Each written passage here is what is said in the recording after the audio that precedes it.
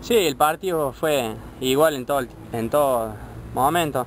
Fue un partido duro y, y sabíamos que de ahora en más todos los equipos que nos van a enfrentar nos van a querer ganar, ¿no? ¿Crees que cambió el juego de, del Alberdi del torneo pasado al que se vio en la tarde de hoy? Y no sé si cambió, pero se notaron las ausencias de varios jugadores y creo que eso se notó. ¿El 1-1 fue justo?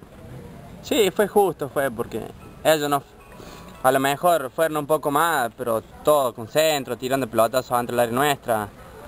No se intentó jugar, siempre el pelota fue por arriba, fue un partido duro, te repito. ¿Qué se tiene que mejorar de cara al próximo choque?